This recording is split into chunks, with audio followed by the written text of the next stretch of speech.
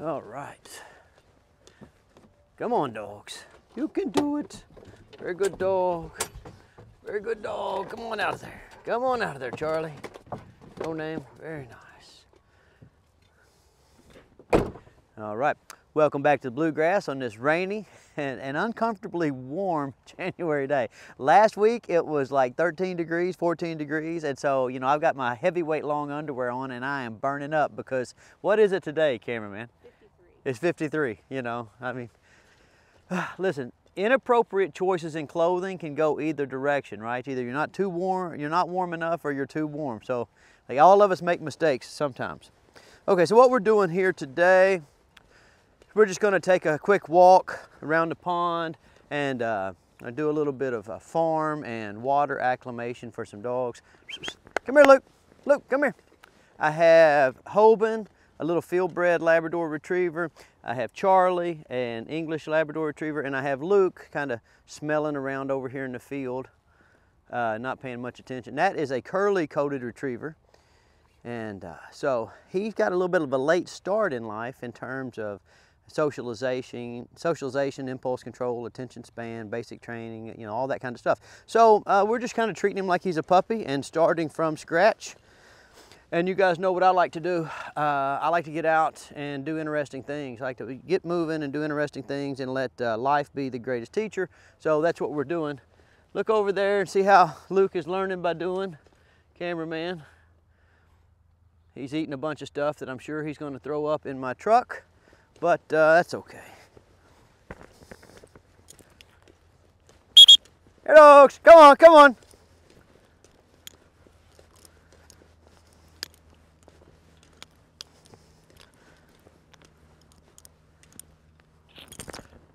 So Luke is here for uh, like yeah a few little problems here and there, but uh, supposedly you know, and I'm not one to doubt when people tell me stuff, but supposedly Luke uh, has been biting people, you know. And so we're just kind of letting him pal around, and I'm putting him around a lot of people in a lot of different situations and cataloging the situations that cause him to be nervous uh, because it's not like he's chasing people down and attacking them, but he gets a little nervous sometimes and he'll bark and kind of puff up or growl. And uh, so I just had somebody down at the kennel yesterday whose brother had a curly coat, uh, and they ended up having to uh, do something with it because it, it, that problem got pretty bad. It ended up biting a few people, you know. So we're gonna we're gonna keep an eye on that.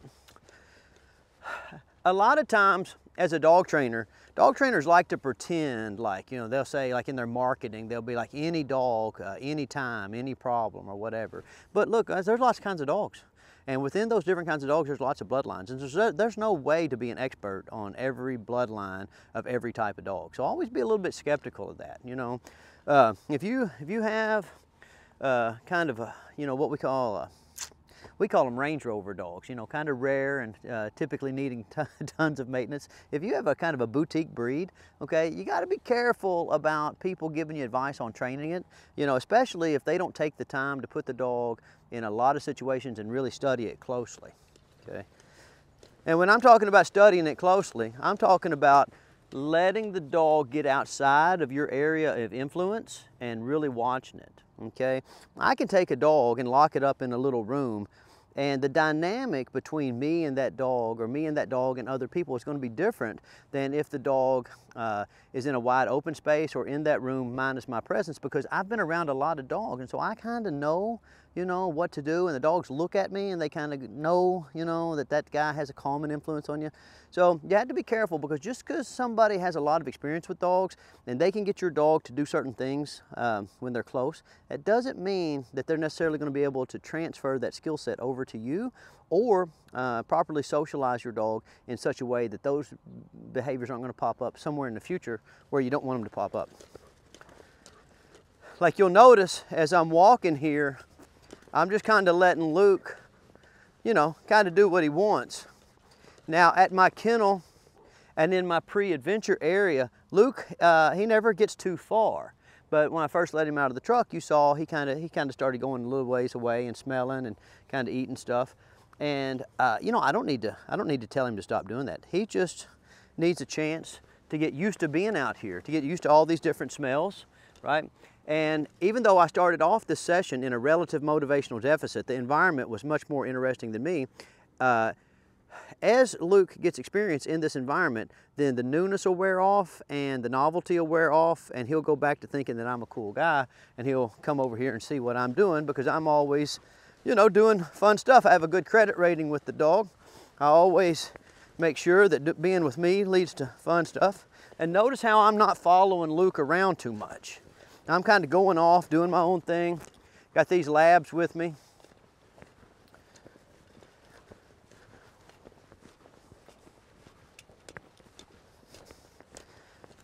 And what I'm hoping is that as I get farther away from Luke, uh, like it'll start to make him, you know, like, you know, think a couple of different things. Number one, uh, where's Stonnie and those other dogs going? They look like they're going to go do something interesting. But number two, I'm banking on the fact that Luke hasn't been in a lot of situations to develop the kind of confidence that allows him to just go off on his own. Very good dogs.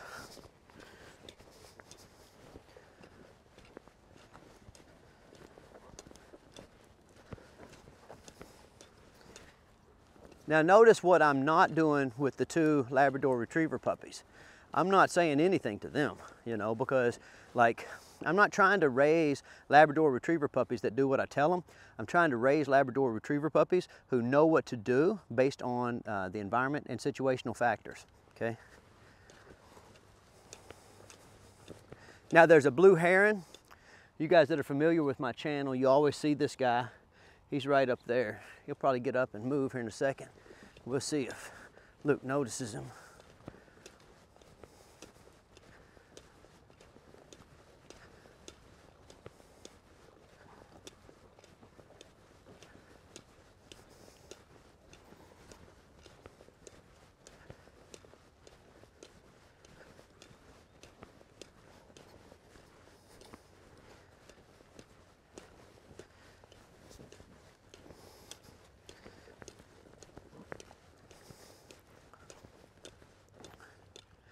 Now, as far as I know, Luke has never been in the water before, okay? But these curly coats, uh, they have a real, like, uh, like well-established reputation for loving the water. And that's one of the things I'm kind of interested today in. Uh, I'm gonna throw a retrieving item for no name and let him get out in the, in the water and I'm gonna see just what Luke's natural reaction is to the water. Is he gonna jump in there and try to follow No Name around? Is like he gonna go and look for the retrieving item himself? And what's he gonna do when this blue heron uh, flies away over here?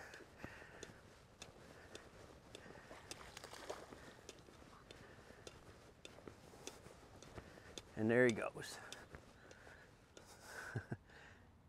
Look, nobody even noticed. Okay, all right, so I'm just gonna kind of start tromping off through this water a little bit and see what these puppies think about it.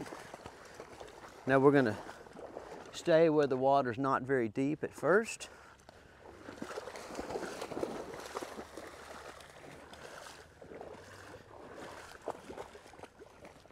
And again, I'm not gonna make I'm not gonna make too big a deal out of this. I'm not gonna come out here in the water and really try to coax the dogs a lot.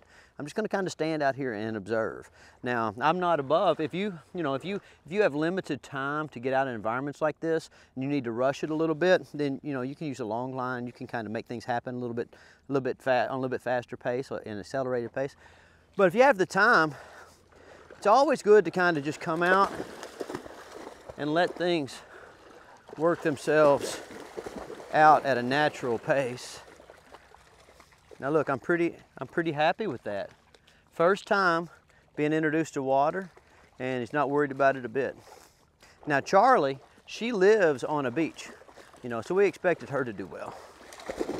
Hoban, he was born in Illinois. He's gonna live in Texas though.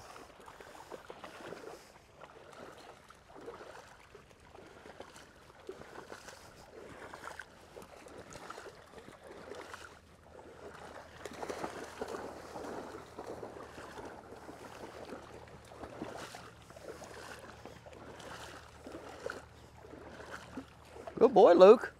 Luke, you a good boy. You a very good dog. Very good.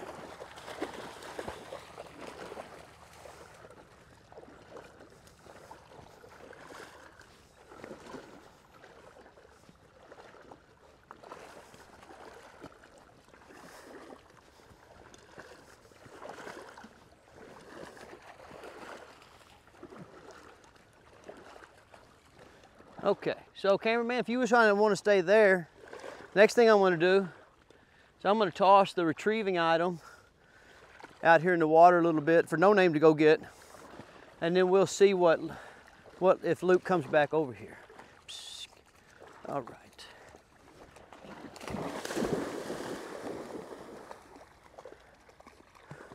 Now look what Luke is doing over there. and so I'm over here trying to get Luke interested in coming to the water, but Luke has found something stinky.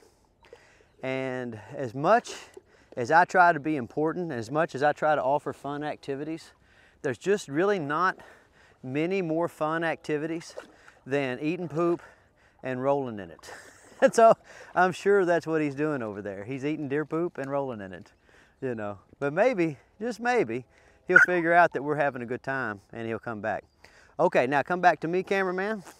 So, so Hoban just, he just come over here and you guys will have heard it. He just come over here and started barking at me, like in anticipation of us playing this game some more. So we're gonna try it again.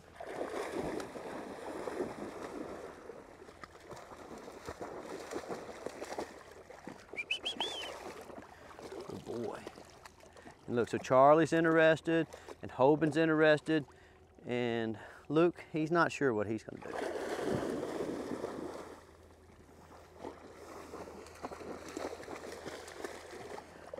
Very nice. Okay, I'm gonna move out in the water just a little bit farther. Oh, and here comes Luke, very good.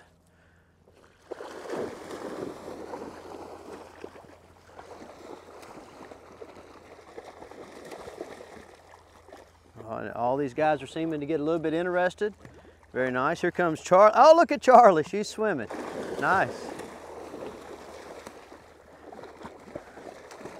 Oh, this is about perfect. Hoban's not 100% sure. Now look, Charlie comes over here. You'll see this sometimes, guys, if you use this wading technique to get dogs used to water. They'll come over close to you and they'll start like hugging you, putting their paws on you. Uh, don't fuss at them, okay? Because they don't understand that they came out in the water and then the water like got deep and they're not gonna be able to stand up, right? So they'll come out, they'll start moving their legs, they'll swim, then they'll swim to where you are and they'll wanna climb up. So when you start to see them make that circle to come back to you, just walk back over here to the bank so that they understand the concept of going from the bank to the deep water back to the bank. Again, it's a pretty, pretty natural and organic experience if you let it be. Hey Luke, what you doing, nerd? Looky Luke. All right, see that? They're all interested now and they're all looking. So in order of preference, if you can acclimate the dogs to a new situation simply by, you know, putting them in a positive peer group, that's always our preference. And there's other ways. You can go back in my other videos and see how I do it when I'm on a compressed, you know, timeline. Very nice. Now you see this time Charlie came out and like looked at me and then she realized she could just go back to the, uh, come on here. She could just go back to the bank and get herself out of trouble. Very nice. What are you doing, Charlie? What you doing, Charlie? Come on. If I can call Charlie out here. Perfect. Oh, she's a very good dog. She's a very good dog. Come on, Luke. Oh, don't be jumping up on me. Go back this way if you need to get back on the ground. There you go. Okay, come on, Luke. I'm gonna walk on down here a little ways. And you see them taking off after no name. There you go. If you want to, come on up here closer to me, cameraman. Very good. Very good.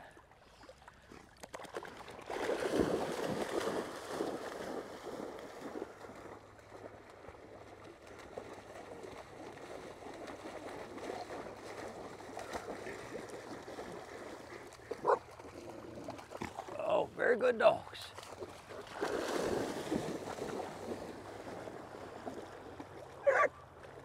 Oh, what are you doing, Hoban? You're gonna have to come out here.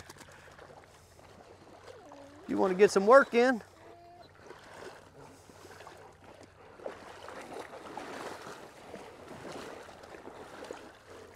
Very nice. Good dogs.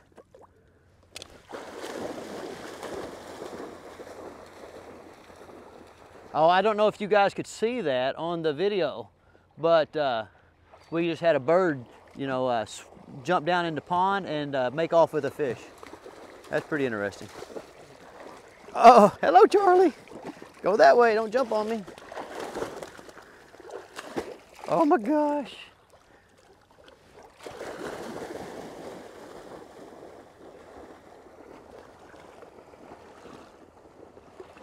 Look at Luke go. Stay here, I'm gonna go up there and throw it back towards you.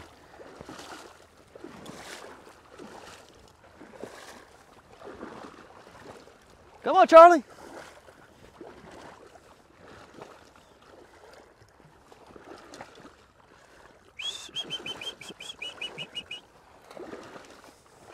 Come on, no name. Oh my gosh, no name's such a good boy. He's a very good boy.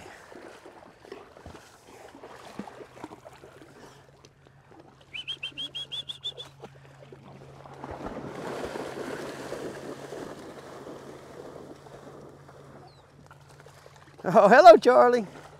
Good dogs. Good dogs. Come on, come on. Oh my gosh.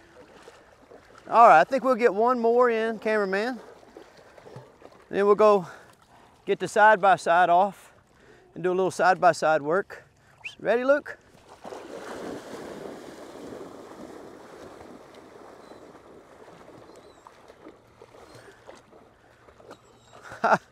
Very nice. Very good dogs.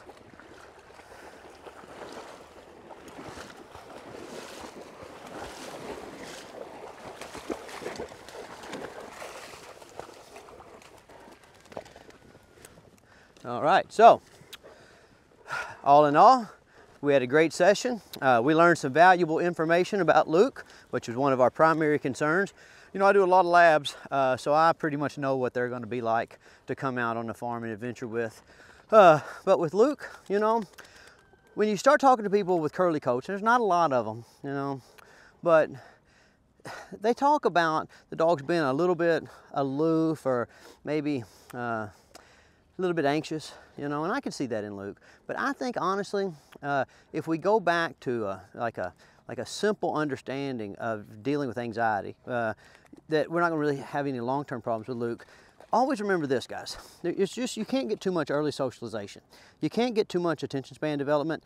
And when in doubt, remember that there's an inverse relationship between exercise and anxiety or any other type of misbehavior. More exercise, less misbehavior. Less exercise, more misbehavior. That misbehavior might manifest itself in being destructive or whining or who knows what. But unfortunately, oftentimes with kind of nervous dogs, uh, it manifests itself with, uh, you know, what most people would call aggression issues.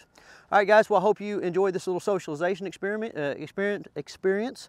Uh, and if you know something about curly coats, uh, go ahead and post it below because we're going to try to make a little bit bigger video about the breed next week. And uh, I'd like to hear your input. All right, I'll talk to you guys next week. Good dogs. Oh my gosh, they're very good dogs. Let's go climb on this log. Very nice dogs. Very nice dogs.